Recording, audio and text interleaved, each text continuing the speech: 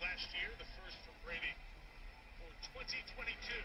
And it is 19-3. Tampa has scored 19 in a row.